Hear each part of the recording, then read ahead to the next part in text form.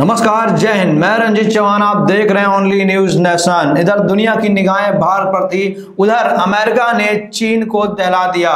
चीन में अपने बम वर्षक विमानों से पूरे चीन के परकच्चे उड़ा दिए। आखिर भारत की कूटनीति ने दिखा दिया है, चीन को उसकी औकात, और भारी पड़ गई है उसे भारत से दुश्मनी। बता दें आपको, चीन और भारत दोनों आपस में इस समय भिड़े हुए हैं, जंग का माहौल है, लेकिन किसी ने नहीं सोचा होगा कि इन दोनों के बीच में तीसरा देश, जिसका नाम है अमेरिका, वो बड़ा कांड कर जाएगा, और उसने कर भी दिया है।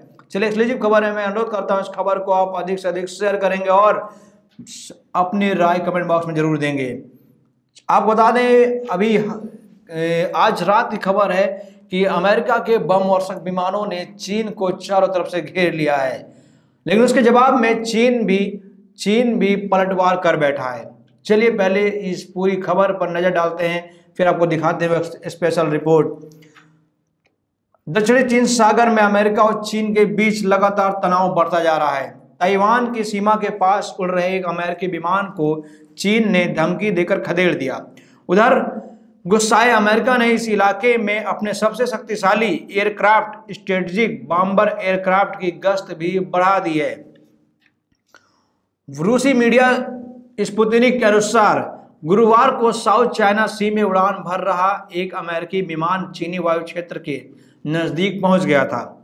इसके बाद चीनी नेवल एयरफोर्स ने अमेरिका विमान को वायरलेस के ज़रिए चेतावनी देकर दूर खदेड़ दिया। इस बातचीत का ऑडियो भी जारी किया गया। यह दक्षिणी चीन सागर पर हवाई गतिविधियों पर नज़र रखने वाले agency south China sea probing investigation में जारी किया गया है। आपको बता दें जहाज़ से चेतावनी जारी की गई।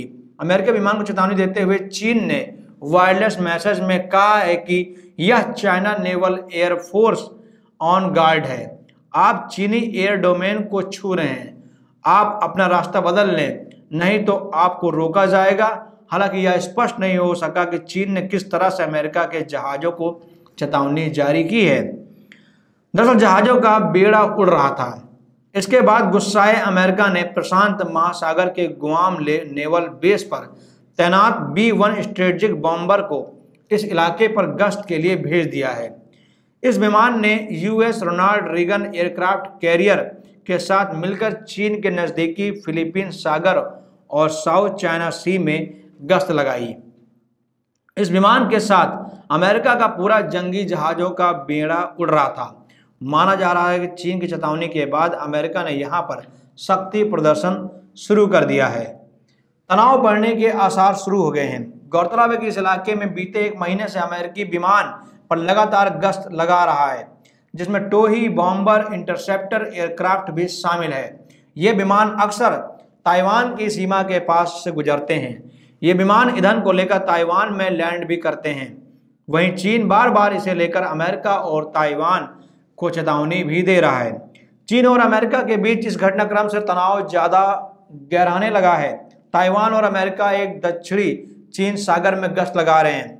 यह चीन के लिए खतरे का, खतरे की घंटी है।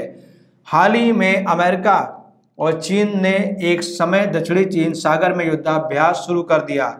इसके बाद चीन ने अमेरिका को मिसाइल हमले की धमकी दे डाली। दोनों देश एक दूसरे के सामने ही युद्धाभ्यास कर रहे हैं, लगातार बमबारी कर रहे हैं।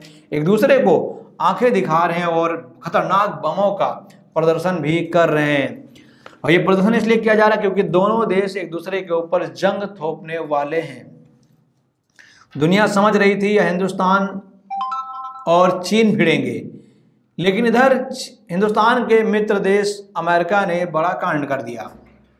अब चीन चाह कर भी हिंदुस्तान से जंग नहीं लड़ सकता, क्योंकि वो एक साथ दो महाशक्ति अमेरिका ने चीन पर जो बमबारी की है, जो बमवर्षक विमानों का जखीरा भेजा है, उससे चीन दहल गया है।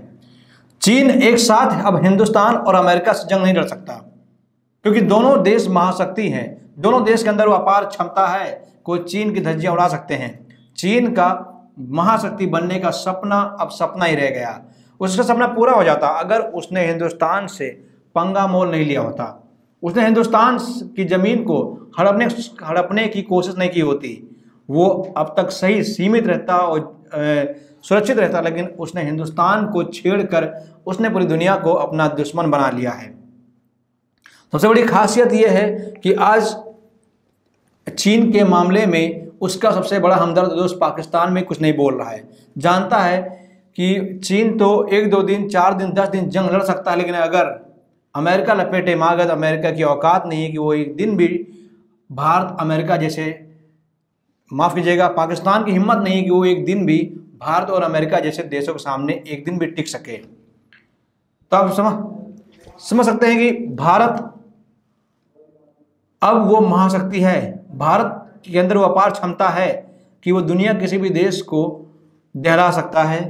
क्योंकि उसके पास आज दुनिया के सबसे बड़े ताकतवर देश अमेरिका का साथ है, रूस का साथ है, फ्रांस का साथ है इसराइल का साथ है, और ये वो देश हैं जो अपने आप में दुनिया की सबसे बड़ी महाशक्ति हैं। अब रही बात चीन की, रही बात नेपाल की, रही बात पाकिस्तान की तो इनसे तो हिंदुस्तान ही लड़ने में सक्षम है।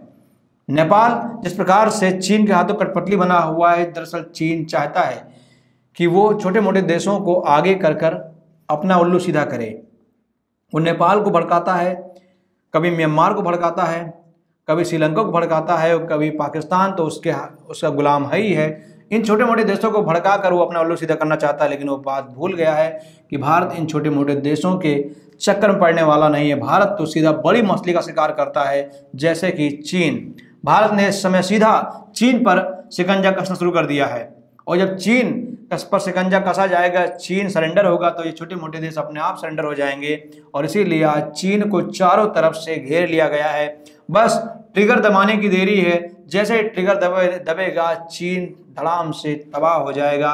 क्योंकि अभी अभी भी वक्त है, अगर चीन संभल जाए, या अपने आप को सरेंडर कर दे तो शायद उसकी जान बच जाए। लेकिन अगर उसने सरेंडर नहीं किया तो जिस प्रकार से अमेरिका के जंगी जहाज़ साउथ चाइना सी में उड़ान भर रहे हैं। उसकी एयरक्राफ्ट, जिस पर लगभग 90 फाइटर जेट विमान सवार हैं, तीन हज़ार नेवी के अब जवान सवार हैं।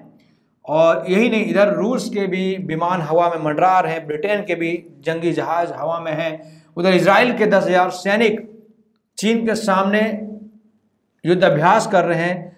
अब ये सब कुछ कोई खेल नहीं है, कोई खिलौना नहीं है, बल्कि ये सब कुछ हो रहा है। सिर्फ़ चीन के बिरा, कह सकते हैं, विस्तारवादी नीति को रोकने के लिए, उसको उसकी जगह दिखाने के लिए, उसको उसकी औकात दिखाने के लिए और हिंदुस्तान से पंगा मोल लेने का उसको करारा जवाब देने के लिए। तो आप क्या राय रखते हैं? आप कमेंट बॉक्स में राय दीजिए। दिखाइए, बताइए कमेंट बॉक्स में कि आज जो कुछ हुआ है, वो किसकी वजह से हुआ है। क्या कभी चीन इतना सरेंडर हुआ? क्या कभी आज से पहले चीन पर इतने देशों ने अटैक करने की कोशिश की। क्या कभी ऐसा हुआ कि चीन पर अमेरिका का या रूस का, ब्रिटेन का कुछ बड़ा बयान आया हो, लेकिन आज बयान आ रहा है, आज मोदी के हाँ में हाँ दुनिया के देश मिला रहे हैं। इसके पीछे की वजह है हिंदुस्तान का वर्चस्व। हिंदुस्तान का वजूद आज दुनिया में सर चढ़ कर बोल रहा है, जिसके पीछे की वजह नरेंद्र मोदी हैं। आप अपनी राय ज़रूर दें कमेंट बॉक्स में। बहुत बहुत धन्यवाद। ओनली न्यूज़ ग्रुप में आप सभी का, जो, ये जो हम एक कंपेनिंग लेकर आए हैं इस कंपनी में, इस पाँच अगस्त को हम सब मनाएँगे दिवाली।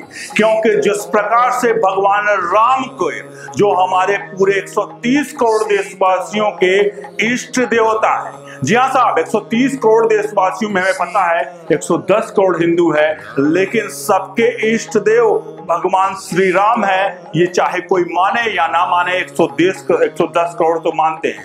तो इस 5 अगस्त को भगवान भगवान राम के जन्मभूमि पर वहाँ पर होगा शिलान्यास और प्रधानमंत्री, मंदिर का शिलान्यास और प्रधानमंत्री मोदी उसका शिलान्यास करेंगे। तो इस 5 अगस्त को हम सबको मनानी है दिवाली। जी हाँ आपकी बार भगवान राम का आगमन उनके रियल लाइफ में तो चौदह वर्ष में हुआ था, लेकिन सैकड़ों सैकड़ों सदियों लग गई और भगवान राम वापस आ रहे हैं इस पाँच अगस्त को अपने घर वापस अयोध्या।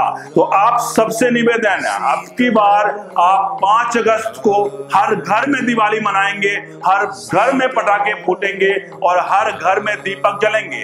लड़ियाँ सजा दीजिए, पूरे देश को सजा दीजिए, घर को सजाइए। हम आपसे आग्रह करते हैं, अनुरोध करते हैं कि इस पाँच अगस्त को हर घर में दिवाली मननी चाहिए इस वीडियो को हर फ़ोन तक पहुँचा दीजिए शेयर करिए और पाँच अगस्त को भव्य सेलिब्रेशन हर घर में होना चाहिए। 110 करोड़ हिंदुओं के आस्था के जो प्रतीक है भगवान श्री राम 130 करोड़ देशवासियों में हर कोई का कहीं ना कहीं जो उनका आज अस्तित्व है भगवान श्री राम के नाम की वजह से है, चाहे वो किसी जाति धर्म से हो। तो चलिए, आप इस को शेयर करिए। बहुत बहुत धन्यवाद।